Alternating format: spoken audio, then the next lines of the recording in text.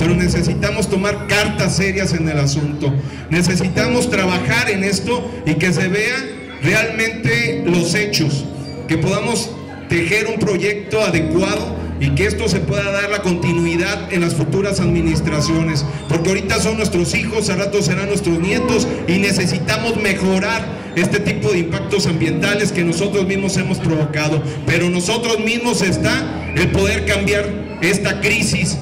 eh, que estamos pasando. Me uno a esto, saben que radico y tienen su casa en la localidad de San José Cuaro y al igual que todos ustedes tengo hijos, hijos que han tenido problemas asmáticos desde su nacimiento y que este polvo realmente provoca que se enfermen continuamente. Comentarles que hemos estado trabajando, ya me reuní con los presidentes de la Ribera, ya tuve una reunión con la situación federal y estatal y ahorita en breves minutos me voy a trasladar a Morelia para verme con la directora de salud. Esto va a desencadenar muchísimas enfermedades, vas a estar aquí unos segundos para no solo acabar lleno de polvo, sino para entender la magnitud del problema, ya son semanas, entiendo las que tienen con esta situación. Yo creo que hay que convocar, Humberto, a todos los alcaldes de la región para en la Cámara, ante la Comisión Especial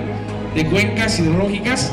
a hacer el planteamiento si puede haber recursos extraordinarios, de ver cómo todos los, los poderes o el Poder Ejecutivo Federal toma cartas en el asunto. Yo creo que desde la Cámara sí pudiéramos hacer el exhorto, los llamados pertinentes, a que todas las dependencias que tienen que ver para atacar esta contingencia, pues se pongan a trabajar y le den, le den atención lo más pronto posible.